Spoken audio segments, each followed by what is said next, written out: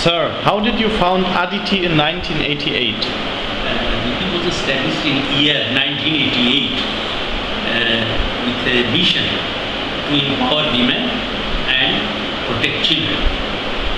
Why? You will ask the question, why it was formed?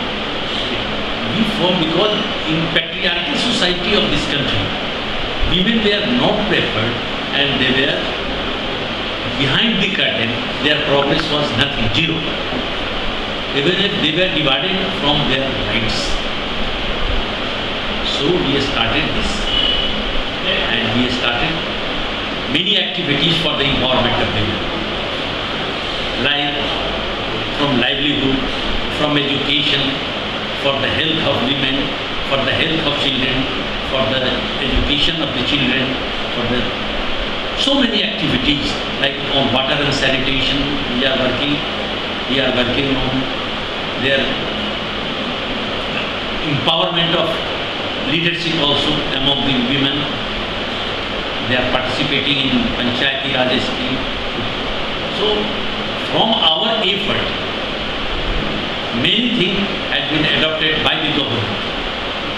And we have also made some pressure to achieve the missions of the empowering women and protection of children and education.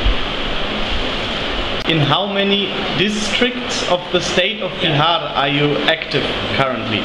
We are working in 18 districts of Bihar directly and also working more than 10 districts after 18 with the collaboration of my um, other NGOs which have been decentralized by us. We have decentralized 24 NGOs, those who were working with us and they are empowered with this view, they are working and their, their NGOs are also registered. So we are working, we have a great network in the state, both the state, not in Bihar, but also in Jharkhand also. Because Jharkhand and Bihar both were together.